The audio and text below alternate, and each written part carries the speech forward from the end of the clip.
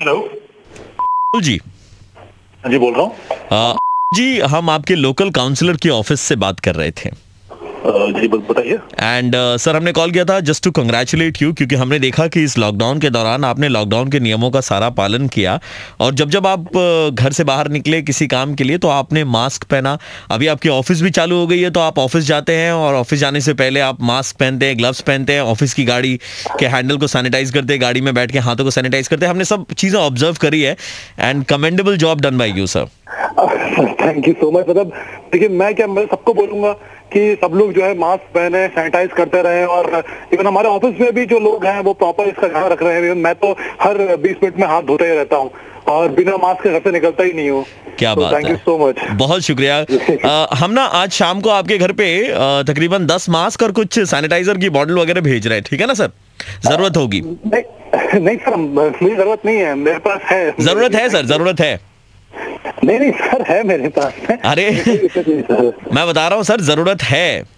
अरे सर घर मेरा ज़रूरत मेरी मुझे बताना सर ऐसा कोई इशू नहीं है मेरे पास है सर, आपको नहीं, सर। मार दीजिए ना जहाँ पे ऐसे आपको नहीं सर। मतलब? आपके पापा को ज़रूरत है।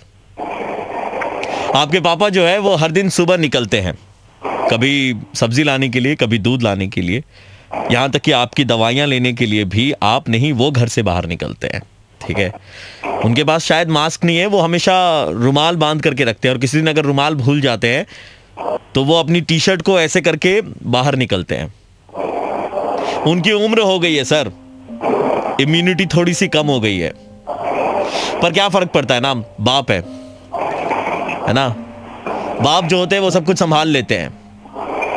आपने अपनी सुरक्षा कर ली, आपने अपनी सुरक्षा के लिए सारी तैयारियाँ कर ली, सर। पर उसके बारे में एक बार भी नहीं सोचा, जिसने उंगली पकड़ के आपको चलना सिखाया था। ठीक है? जब आपको सर्दी लगती थी तो रात भर आपके सीने पे वो मलहम लगाते थे, आपको अपने सीने पे लिटाते थे, ताकि आपका सीना गर्म रहे। वो चाहते हैं कि आप कामयाब हों, लेकिन आपकी कामयाबी देखने के लिए वो ज़िंदा भी तो रहने चाहिए ना, सर? हाँ सर मैं मैं कह रहा हूँ सर देखो अब अगर ख्याल नहीं रखोगे ना तो कब ख्याल रखोगे? ठीक है? और सबसे इंपॉर्टेंट बात है कि वो ना कभी आपको आकर के बोलेंगे नहीं। है ना? जी सर। कभी आपको आकर के बोलेंगे नहीं कि उनको भी चाहिए उनको भी ज़रूरत है। वो घर से बाहर निकलते हैं उनके लिए बहुत रिस्क है ना सर?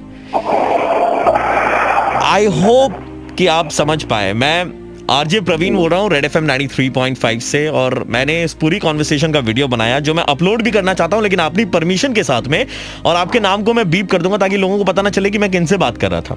लेकिन only if you give me permission then only I do it नहीं सर सही बात है शायद जो गलती मुझसे हुई है वो किसी और से ना हो तो हाँ प्लीज़ आप कर सकते हैं कोई कोई इशू नहीं है।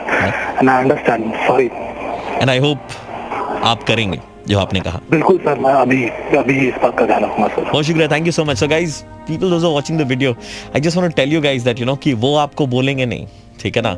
बचपन में आपके बिना बोले वो आपकी सारी बातें समझ जाते थे। अब बारी आपकी है कि उनके बिना बोले आप उनकी सारी बातों को समझें।